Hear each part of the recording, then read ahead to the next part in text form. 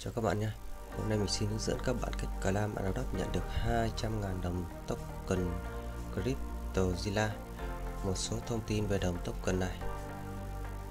Số tổng cung phát hành là một triệu tỷ, đã có 777 tài khoản order đã phát sinh 1.789 là giao dịch. Đầu tiên các bạn truy cập vào link website clamadopt.net như truy cập website được mình ở phần dưới mô tả video nhé sau khi đã vào được website thì các bạn làm theo hai bước hướng dẫn trên website của mình bước một các bạn sao chép quan trắc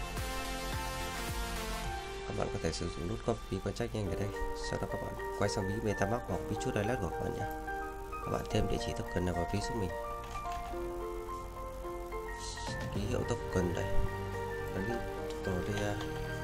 số tập phân 18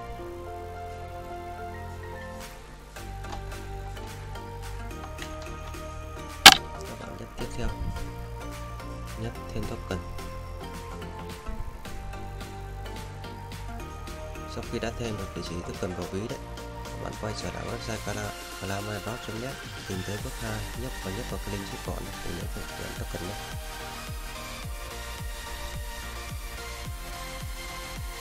Rồi các bạn nhấp vào đây calamairock thì uh, chương trình Analog nó sẽ kết thúc vào 48 ngày nữa bạn ờ, có điều kiện thì các bạn có thể bỏ ra số vốn nhỏ là 0.02 BNB mua đầu đồng token này ở hold chờ cơ hội uh, nhận được tài khoản như sau nhé.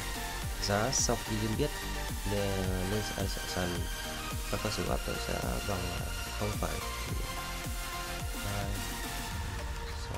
tám số không cho đến, đến số 3 nhé.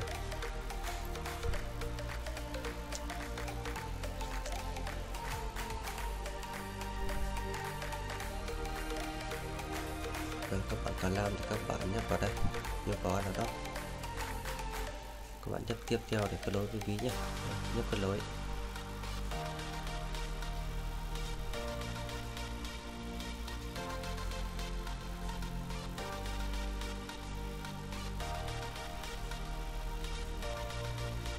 và lỗi cái gà sờ lát nữa mình à, quay lại cả năm rồi để được rồi cái gà là 0.00152 và 4 mm bạn tiếp xác nhận được mình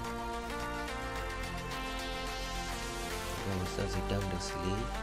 Các bạn các bạn cố gắng thường xuyên theo dõi website clamr.net nhé. Để uh, ờ, tham gia những cái dự án miễn phí phần thưởng token mới nhất trên về Binance Smart Chain còn nếu bạn chưa có tài khoản sàn giao dịch Binance bạn có thể vào đây đăng ký để hưởng 20% phí giao dịch trọn đời. Ngoài ra trên đây còn nhiều tài khoản nhiều các sàn khác các bạn có thể vào để đăng ký để sử dụng sau này nhé. Mình đã hướng dẫn các bạn cách để Clam nhận à, được uh, hai à, uh, 200 triệu đồng token crypto Gina các bạn có thể ủng hộ kênh bằng cách đăng ký kênh và bật chuông thông báo để cập nhật những video mới nhất nhé. Video sẽ được kết thúc tại đây. Cảm ơn các bạn đã xem video. Xin chào và hẹn gặp lại các bạn nhé.